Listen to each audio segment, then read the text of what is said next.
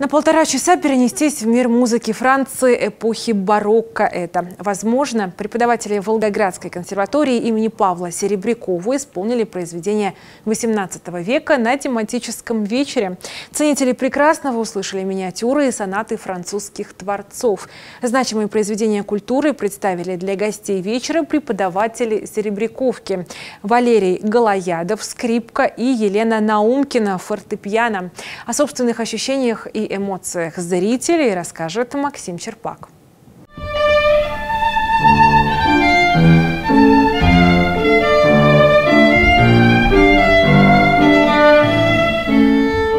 Музыка льется словно как ручей из музыкальных инструментов в исполнении профессоров Серебряковки. Проникновенные звуки выдающихся французских композиторов покоряют сердца волгоградцев и оставляют яркие впечатления от концерта. Мне очень нравится классика и очень нравится французская барокко. Я когда увидела это объявление, я просто глазам не поверила. Да, я не знаю, может оно здесь не первый раз, но я первый раз увидела это объявление, что здесь будет такой концерт, с удовольствием пришла. Музыка, которая французская барокко, нам интересна.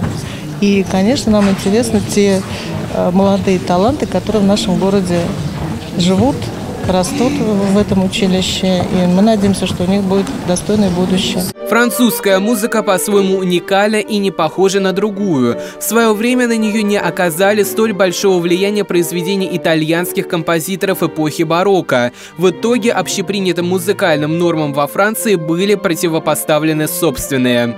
Она обманчиво проста и доступна, но это совершеннейшее изящество, это изощренность э, композиторской техники, выделки, отшлифованность ее.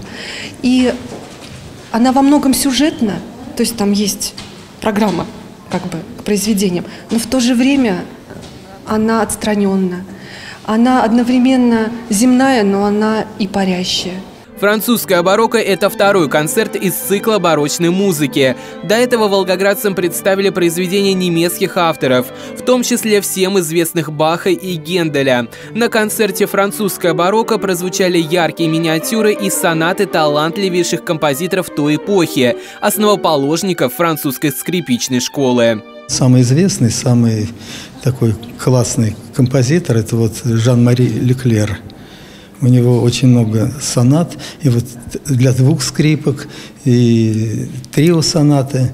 Его, ну, в общем, очень довольно сложная музыка, очень много двойных нот, скачки такие в позиции, и вообще перебросы смычка, много чего цикле инструментальной музыки за французским барокко последует концерт итальянского. Такие встречи со зрителями в стенах консерватории имени Серебрякова проводят регулярно, представляя произведения европейских композиторов, знакомя с талантливыми музыкантами Волгограда. Важность, безусловно, э, таких концертов, поскольку э, она определяет уровень, во-первых, исполнителей, во-вторых, уровень учебного заведения, в котором они проводятся, поскольку консерватория является, конечно же, вузом академическим. Это возможность услышать замечательную музыку, просто получить удовольствие, как взрослым, как любителям музыки, меломанам, так и профессиональным музыкантам.